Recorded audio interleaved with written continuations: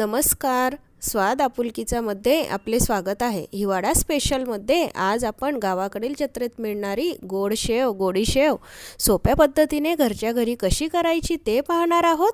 चला तर पाहूया रेसिपी गोड शेव बनवण्यासाठी इथे आपण एक वाटी मैदा एक वाटी बेसन पीठ आणि दोन वाटी गूळ घेतलेला आहे. बारीक चिरून एका एकाच वाटीच्या मापाने आपण हे प्रमाण घ्यायचं आहे.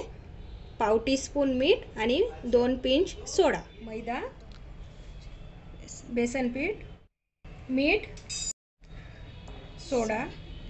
मोहनसाठी आपण दोन चमचे तेल टाकून घेणार आहोत. छान तेलाचं मोहन लावून घ्यायचं आहे सगळीकडे. सगळीकडे तेल छान चोळून घ्यायचं आहे पिठाला. आता आपण हे कोमट पाण्यात भिजवणार आहोत. थोडं थोडं पाणी टाकत आपण छान असं घट्ट गोळा मळून घ्यायचा आहे. या पद्धतीने आपण छान असा गोळा मळून घ्यायचा आहे.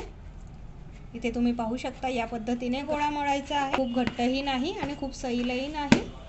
तेलाचा हात लावून घ्यायचा आहे थोडं. सगळीकडे छान तेल लावून परत मळून घ्यायचं आहे. याचे आपण सारखे चार भाग करून घेणार आहोत गोळ्याचे.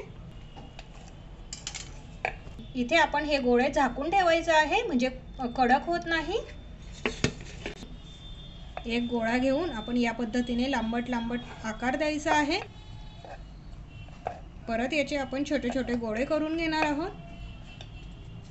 एक गोळा घेऊन आपण असं लांबट आकार द्यायचा आहे. अगदी हलक्या हाताने आपण असं गोल गोल वळायचं आहे. थोडा वेळ लागतो या प्रोसेसला पण या पद्धतीने खूप छान होतात. इथे आपण जेवढे आपल्याला आकाराचे हवे आहेत त्या आकाराचे कट करून घेणार आहोत. पद्धतीने आपण सगळे करून घेतलेले आहेत.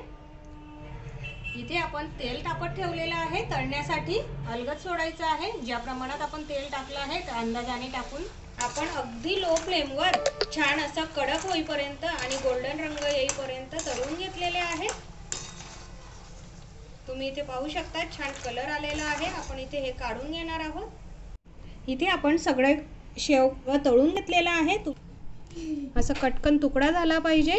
म्हणजे आपले हे शेव व्यवस्थित पाकात छान होतील. कढईत आपण गूळ टाकून घ्यायचं आहे. आपण दोन चमचे पाणी टाकून घेणार आहोत.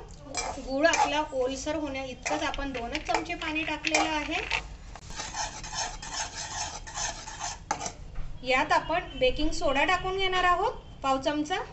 यामुळे पाक छान हलका होतो आणि कलरही चेंज होतो. आता आपण कलर टाक ॲड करणार आहोत. थोडासा आपण रेड कलर ॲड केलेला आहे. त्यामुळे खूप छान कलर येतो. दिसायला अगदी छान आयत्या जत्रेतल्या मिळणाऱ्या शेव सारखी शेव तयार होते.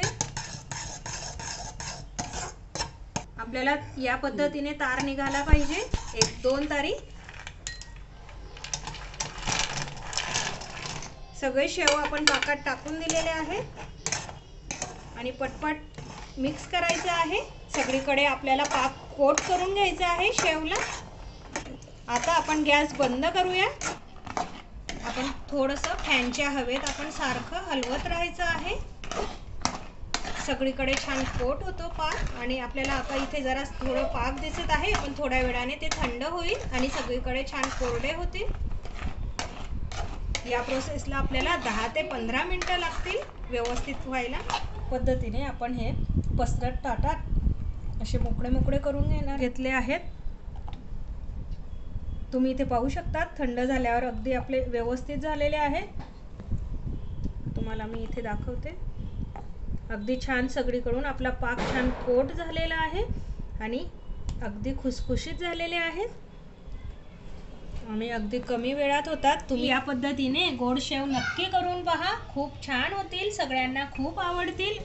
आणि माझ्या या अशाच नवीन नवीन सोप्या पद्धतीच्या रेसिपीज पाहण्यासाठी स्वाद आपुलकीचा या मराठी चॅनलला सबस्क्राईब करा. धन्यवाद.